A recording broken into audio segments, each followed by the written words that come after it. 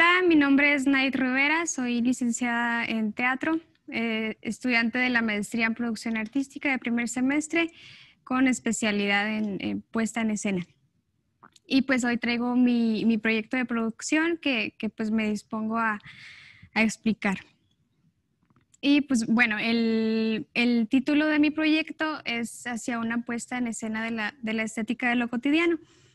Y pues para explicarlo, para que no esté muy confuso, tengo divididos cuatro, cuatro puntos que, que, están como a forma de, de preguntas. Eh, el primero, pues, es ¿qué? ¿A qué me refiero con la, la, puesta en escena de la estética de lo cotidiano? Que pues iré desarrollando como eh, en general. Luego está pues el por qué, que tiene que ver como con la justificación de mi proyecto. Eh, luego voy al cómo, que tiene que ver también con la, la metodología, el proceso que estoy llevando para, para avanzar. Y luego pues ya acá tengo la pregunta de cuándo, que tiene que ver con los tiempos previstos, que, más adelante mostraré eh, un cronograma.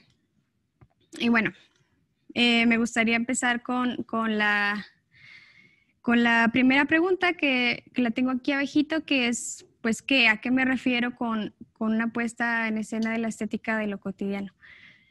Y pues eh, como su nombre lo indica, eh, empiezo con eh, Asia porque depende de un proceso y un camino amplio de observación y de documentación para poder llegar a una puesta en escena que, contemple esta estética cotidiana.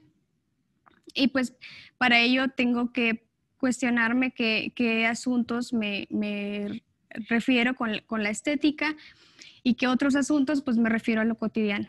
Entonces, em, pues es, un proceso que, requiere experimentar con la vida diaria, em, entender cuáles son las acciones cotidianas que, funcionan para la apuesta. Em, y, bueno, si me refiero a lo cotidiano, pues estoy hablando precisamente de lo que conocemos como cotidiano, de lo que es común en nosotros, de, de aquellas acciones que hacemos diarias y que tienen que ver con resolver necesidades básicas. Em, comer, aseo, eh, caminar por la calle, em, verlo desde una perspectiva estética y poderlo em, pues extraer, presentar, evidenciar en una puesta, en una puesta escénica. Y bueno, resuelto a grandes rasgos la primera pregunta, me pasaría al, al por qué. Eh, ¿Y por qué? Pues me refiero a la justificación del proyecto, porque es para mí, eh, sobre todo para mí, importante eh, enfocarme en este tipo de trabajos. Y primero porque creo que, que, observar los detalles de nuestra vida cotidiana tienen que ver con, con esas cosas que nos hacen humanos y que podemos em, identificarnos con el otro a partir de, de su intimidad y entender que que esa intimidad es mi intimidad y que, bueno, es un, es un vínculo para, para entendernos y para, pues, hermanarnos al fin de cuentas. Eso por un lado y por el otro, porque en la, en la cotidianidad, en la, esta perspectiva em, de trabajo, le da, da un valor a esos detalles que pudiéramos considerar como mundanos, como con poco valor artístico, pues los ve desde otro lado y trata de darles esa, esa, esa categoría de estético y de artístico a, cosas que por lo general no, no lo tienen. Em, bueno, eso referente al por qué, que sería como la justificación a grandes rasgos de, de, mi proyecto.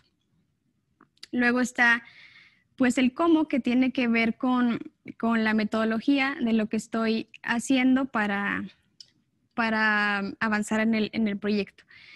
Entonces, pues, dada la naturaleza del proyecto, como se, requiere de mucha observación y de mucha documentación incluso, em, eh, pues he entendido mi proyecto como un proyecto que, en su amplitud está encontrando su manera de definirse a sí mismo y de, delimitar qué aspectos cotidianos y qué aspectos estéticos le sirven o no le sirven. y me gusta decirlo y platicarlo con, un concepto que, bueno, es de un filósofo italiano que se llama Parison y que, bueno, él, lanzó el, concepto como tal de la, formatividad y que, bueno, para mí explicarlo me ayuda a entender y a entenderme y a hacer entender la metodología de este trabajo, que a la vez que está trabajándose, pues está, está encontrando su manera de, trabajar. Y para eso, pues tengo acá eh, la definición del concepto de formatividad. Dice, por ejemplo, que el arte expresa una forma de hacer que a la vez que hace inventa la forma de hacer. Eso pues es en el sentido que acabo de, explicar, que, responde muy bien a estas cuestiones de, investigar y de explorar y de, de observar, de documentar. Y bueno, continúa acá diciendo que en la formatividad, la obra de arte no es un resultado, sino un logro, en el sentido, otra vez, lo relaciona acá con lo mío, que, es un proceso que en, importancia es equiparable con, el resultado, que será una, una apuesta. Em, y bueno, dice, donde la obra ha encontrado la regla que la define específicamente. Y pues eso pasa también cuando los, los, los procesos son, son experimentales, cuando, cuando tienes este, una base de este tipo, pues los, los productos que, que, resultan o los logros que, que, se muestran, pues son, son únicos y, y, han encontrado las reglas que, que los definen. Eh, bueno, eso en cuanto a eh, pues la metodología, para explicarlo un poquito la manera en la que estoy trabajando. Creo que ahorita estoy en la etapa de, de, de preguntarme cosas, de mm, de delimitar los, las situaciones estéticas y cotidianas que me funcionan y, ver cuáles no y cuáles sí y, seguir avanzando en ese sentido. Bueno, ya por último, pues me enfocaría en esto de, del, tiempo y lo puse aquí con una preguntita que es cuándo, que se refiere pues a los tiempos previstos y, para eso tengo mi, mi cronograma que, lo hice en, pues en una tablita y, he dividido las fases en dos, que serían planeación y comunicación de resultados. Luego dentro de la planeación están contempladas tres actividades, que sería búsqueda de referencias sobre la estética cotidiana, la integración de un grupo de experimentación. La tercera etapa de la planeación, pues es la presentación de los resultados de, este, de esta experimentación. Y luego el tiempo lo dividí en trimestres, que pues serían ocho, dados los, los cuatro semestres de la maestría.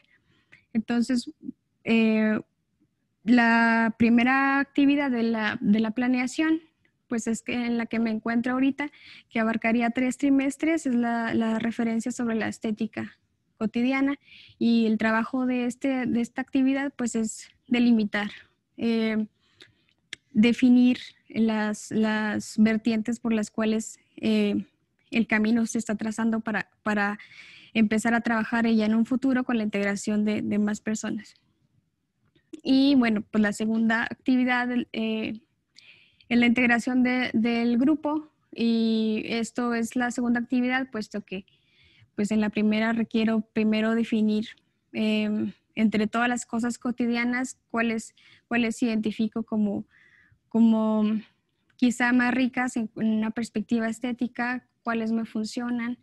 Em, y bueno, llegado a ese punto, pues eh, compartirlo con, con, los demás integrantes y, y, que vean ellos también sus cotidianidades y sus, sus perspectivas estéticas y a partir de ahí empezar a delimitar un trabajo ya pues práctico. Eso ocuparía el cuarto trimestre. Ya para la tercera actividad de la, de la planeación, pues es la presentación de resultados. Eh, por esto me refiero a, bueno, el, parte de la documentación con los integrantes y, de lo que yo he aportado también, pues ya es encontrar como vertientes y caminos de la de lo que se ha establecido con la investigación estética y, cotidiana que hemos definido para para el producto final. Eh, bueno, y en la segunda fase está la comunicación de resultados, em, que está dividida en, dos actividades, que es, bueno, trabajo del montaje, ya pues una vez delimitado el, proceso anterior, que es establecer lo que nos sirve y lo que no, pues acá ya, ya está integrado lo que, lo, hacia dónde estamos avanzando y aquí ya es como la integración de, recursos materiales y de otro tipo, más allá de los humanos que eh, habíamos venido trabajando. Eso me ocuparía el sexto y séptimo trimestre, se tiene previsto, y pues ya. La, última actividad, pues ya es la, puesta en escena, la presentación como tal, y ya es del, del octavo trimestre. Y pues ahí concluiría el cronograma y también este, pues la presentación de hoy, que fue como a grandes rasgos, este, pues entender, hacerme entender mi, mi, proyecto de producción. Y pues eh, sería todo, este, muchas gracias.